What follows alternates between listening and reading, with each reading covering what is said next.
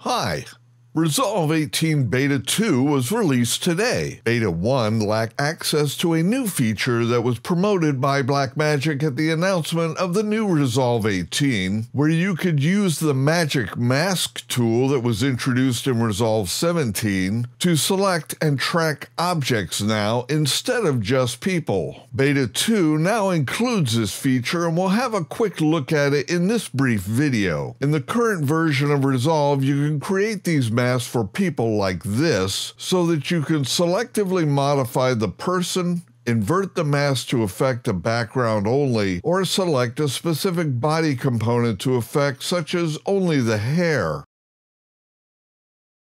To demonstrate the new Object Magic Mask, I'll use this clip of a vehicle driving down the beach. Over on the color page, I'll switch to the Magic Mask pane like this. In Beta 1, we only had this Reset All button here at the top of the pane, but in Beta 2, we can now switch between people and objects. I will select Object for the mask as it will default to Person. I'll turn on the Reveal Mask feature here so we can see what's getting selected, and I will also enable Better Mode to get a more refined mask.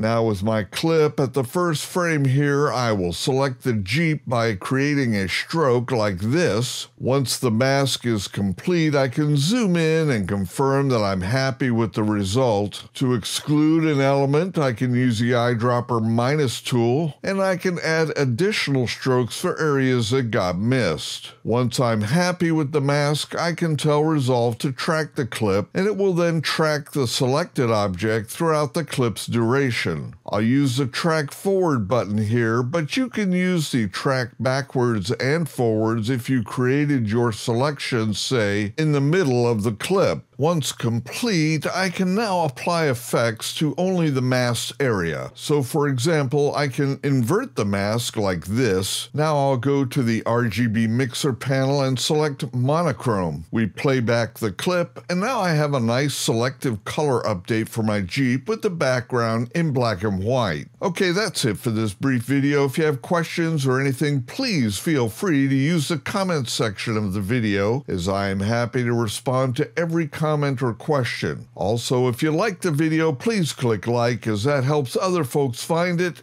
And until the next video, take care.